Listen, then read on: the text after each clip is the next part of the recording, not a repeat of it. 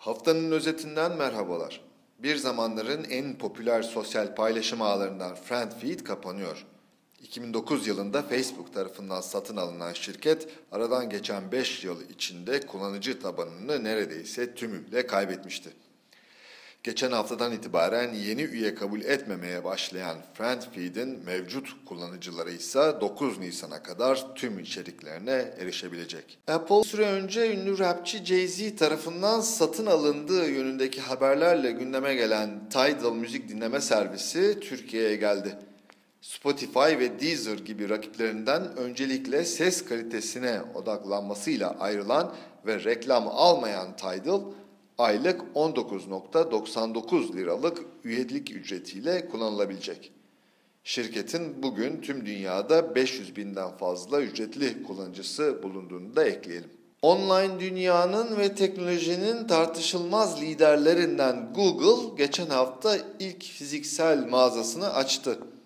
Londra'da bulunan mağazada Google'ın kendi markalı ürünlerine ek olarak bazı Android tabanlı akıllı telefon, saat ve tabletlerde bulunuyor. Şirketin şu an için en fazla ön plana çıkardığı ürünse bu hafta yeni modelini duyurduğu Chrome işletim sistemli Chromebook Pixel dizüstü bilgisayar. Mağaza elbette bir ürün deneyimleme ve servis noktası olarak da hizmet vermekte.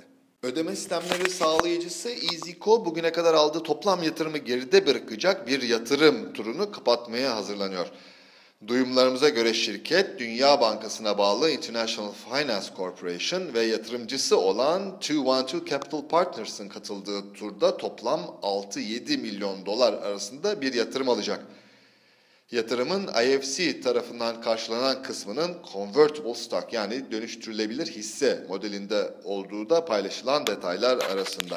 Ödeme sistemleri alanında bir başka yatırım haberi de öde al cephesinden geldi. Edindiğimiz bilgilere göre mobil ticarete dönük bir ödeme sistemi girişimi olan öde al 7.9 milyon Türk lirası yatırım karşılığında hisselerinin %51'ini Sun Online'a devredecek.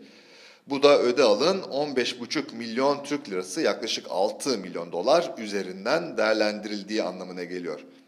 Sanko Online'ın Gaziantep merkezli Sanko Holding'in internet yatırımlarını yönetmek amacıyla kurduğu yeni bir girişim sermayesi fonu olduğunu da belirtelim.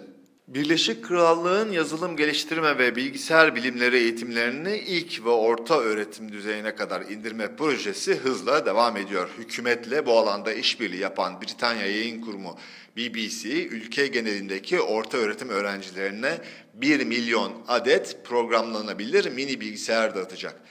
Raspberry Pi benzeri modifiye edilebilir ve kodlanabilir mini bilgisayar diğer kişisel bilgisayarlara bağlanıp üzerinde çalışılabiliyor. BBC daha önce çocukların ve gençlerin temel bilgisayar bilimlerine giriş yapabilmesi için özel yayınlarda başlatmıştı. Haftanın özetini izlediniz. Görüşmek üzere.